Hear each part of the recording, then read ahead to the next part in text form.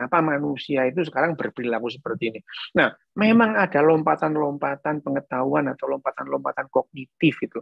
Tapi setiap kali lompatan kognitif kita itu gugup dan gugup itu adalah bagian dari evolusi kita gitu. Tapi cara kerja otak kita itu sama persis dengan nenek moyang kita 350 ribu tahun yang lalu masih sama. Jadi karena kita spesies yang sama, ya cara kerjanya sama. Cara kerja otak kita merespon yang namanya ancaman itu sama persis itu. Hanya saja sekarang kita kenal dengan bahasa gitu ya.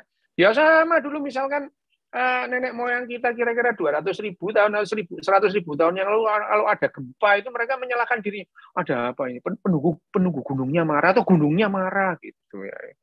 Sekarang yang menciptakan gunung yang marah. Itu semua adalah bagaimana pelan-pelan yang nama ada pergeseran itu, ya. pergeseran perilaku. Nah, tapi kognitif kita juga evolusi, berevolusi pelan-pelan. Tapi ada lompatan kognitif ya. Lompatan kognitif itu kan kita berbicara kapan lompatan kognitif terjadi pada manusia. Gitu. Misalnya pada saat lompatan kognitif pertama pada saat kita mulai berbahasa gitu ya. Itu ada lompatan kognitif gitu ya. Kita menciptakan atau membuat eh, yang namanya realita ketiga gitu ya. Nah, realita ketiga ini mengarahkan kita kepada lompatan-lompatan berikutnya itu. Pada saat terjadi uh, revolusi agriculture kira-kira 10 sampai 12 ribu tahun yang lalu ada lompatan kognitif kita gitu ya. Tapi ya enggak itu enggak setahun dua tahun sih itu. Kira-kira perlu waktu 2000 tahun sehingga sikap manusia itu settle kayak gitu, gitu ya. 2000 tahun diperlukan bagi manusia untuk mengakui bahwa ada manusia pilihan-pilihan gendruwo untuk memimpin mereka. Ya, itu ada kepala suku itu direstui oleh gendruwo penunggu kali condet misalnya gitu, gitu ya. Dan itu pelan-pelan. Tapi 2000 tahun itu merupakan lompatan. Kenapa? Karena selama 350 ribu tahun itu kita nggak pernah seperti itu. Gitu ya. Nah, 10 ribu tahun settle gitu ya. Masa ada perubahan mendadak dengan adanya revolusi industri itu. Ternyata bukan hanya keluarga ningrat yang bisa mengubah status sosial ini. Wah, muncul yang namanya revolusi industri itu mengubah perilaku manusia. Kerajaan yang dulu yang namanya kerajaan itu sudah nggak ada yang berani mutik-mutik raja itu ya. Setelah ada revolusi industri, negara-negara kerajaan itu ambruk semua gitu, runtuh semua tinggal ya Inggris, Belanda. Gitu ya. Nah, belum lama, makin lama makin pendek jedanya itu. Belum lama sekitar 250 250 tahun yang lalu revolusi industri, mendadak kita menghadapi revolusi pengetahuan ilmiah, revolusi, revolusi sains, mengubah lagi semuanya. Dulu yang namanya pemuka agama itu adalah sekaligus penyembuh gitu. Ya, sekarang motivator aja gitu. Dan kalau masyarakat yang IQ-nya tinggi, nggak laku motivator itu. Pemuka agama dianggap sebagai penyembuh setelah ada eh, revolusi sains, enggak lagi itu. Iya di negara-negara yang menghargai sains ya itu. Kalau di negara-negara yang enggak ya atau populasi yang enggak ya tetap laku ya di apa disembur, disubuk gitu ya. Bahkan di rumah sakit pun ada acara berdoa sebelum operasi itu ada.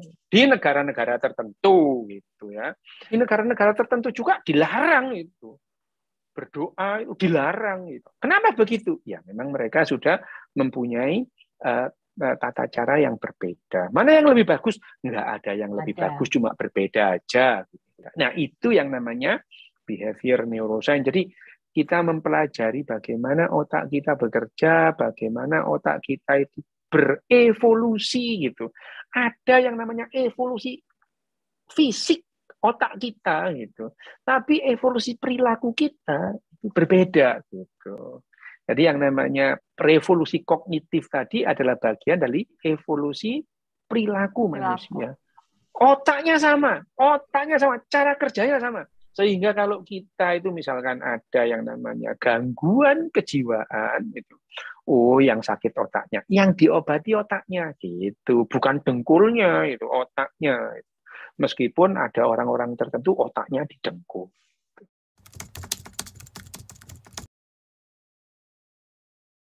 Manusia ya sekarang iya gitu. masih hmm. iya gitu ya karena kebenaran itu menyakitkan. Coba kamu kasih tahu bahwa keyakinannya orang itu salah. Ngamuk mereka. Ngamuk mereka gitu. Padahal faktanya ya salah sih gitu. Coba kasih tahu. Marah mereka itu makanya manusia itu artinya mengatasi itu semua kita membuat yang namanya manner. Sama itu juga juga juga karangan-karangan kita itu ya bapak tidak salah gitu. Ya padahal dia salah gitu. Ngomong salah itu ya enak. nah kenapa demikian ya karena yang namanya pengetahuan kita selama ratusan ribu tahun pengetahuan manusia itu itu bukan masalah benar salah puas apa enggak jadi kalau orang nanya itu yang dicari itu bukan kebenaran, tapi kepuasan dari dulu itu. Kenapa? Lah yang jawab sendiri nggak tahu itu. Misalnya, pertanyaan kita dari mana sih asal usul kita dari mana? Itu adalah konsekuensi logis pada saat individu itu sadar tentang keberagama, ke keberadaannya itu ya. Keberadaannya terus dengar-dengar bapakku dulu dari mana? Terus orang tuanya dari mana? Lalu terus orang orang pertama itu siapa? Gitu ya. Dan jawaban bahwa orang pertama itu enggak ada secara biologi itu baru 200 tahun yang lalu. Sebelumnya biologi pun itu masih menganggap bahwa ayam itu ya ada ayam gitu ya. Orang nggak ngerti evolusi gitu ya.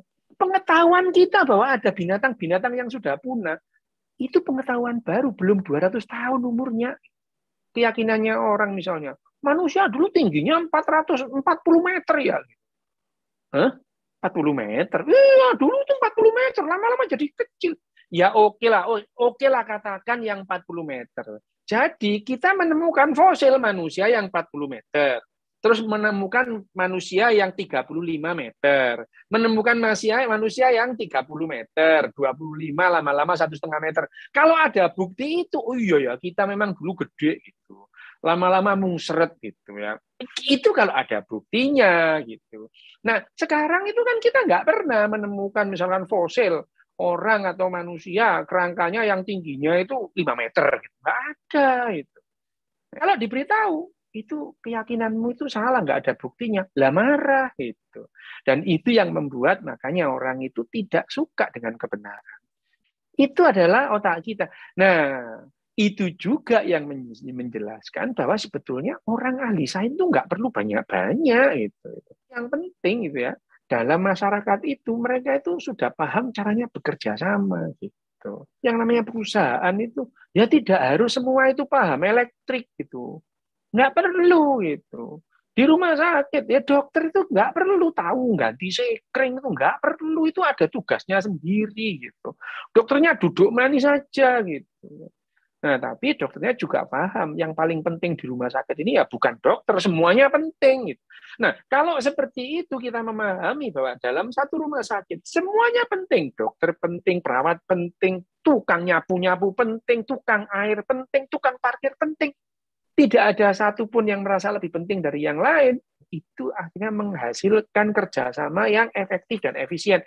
Lah itu pun tuh wangelnya setengah mati. Kasih tahu yang kayak gitu itu ya tetap aja mereka itu misalkan dokter waktu pendidikan wah dikasih tahu wah yang namanya profesi kita itu profesi yang mulia loh yang nggak ada semua profesi ya sama profesi dokter dan tukang becak ini sama-sama profesi nggak ada yang lebih mulia gitu. Nah hal-hal yang semacam ini pun belum bisa dijabarkan atau di, di apa di, diberikan secara umum karena ini kita itu masih masih ada bekas-bekas zaman-zaman kerajaan sekitar 200 atau 300 tahun yang lalu itu masih ada di otak. Jadi kita itu senang dengan hierarki bahwa yang namanya di rumah sakit yang paling tinggi apa namanya uh, uh, kastanya itu dokter gitu itu. Itu adalah itu adalah bagian dari evolusi perilaku kita. Behavior neuroscience mempelajari itu.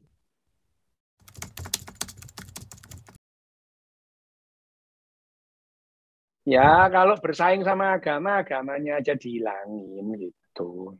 Lah ya gimana kamu mengatakan ya misalkan bersaing dengan ilmu agama? Sains itu dalam sains itu banyak hal yang tidak mungkin. Sementara agama mengajarkan tidak ada yang tidak mungkin. Lu tabrakan di situ. Bingung lah ini muridnya kamu ajarin dua hal yang berbeda gitu. Hmm. Makanya di, kur, di kurikulum apa namanya? kurikulum tahun 2013 fisika itu kita harus meneladani perilaku elektron. Ya, ya ampun itu elektron kok kamu teladani itu loh ngapain gitu ya. Fisika ya, nah, fisika gitu. Meneladani perilaku elektron. Oh, elektron diteladani sampel itu karena keracunan tadi itu. Tapi kalau tetap ada pelajaran agama ya nggak apa-apa sih itu untuk hiburan itu nggak apa-apa itu menghibur kok itu. Tapi ya, ya, ya jangan, ja, tapi jangan sekali-sekali bilang bersaing ya memang nggak siap lah saingan itu ya. tapi kalau pertanyaannya mungkinkah itu ya neuroscience itu diajarkan di SMP di SD hmm. oh evolusi aja di pelintir-pelintir apalagi neuroscience itu di jangan pernah mau kalau ada yang mengatakan manusia berasal dari monyet Charles Darwin mengatakan demikian anda jawab, kalau Anda berasal dari monyet, silahkan saja. Cuma jangan ngajak-ngajak ke saya.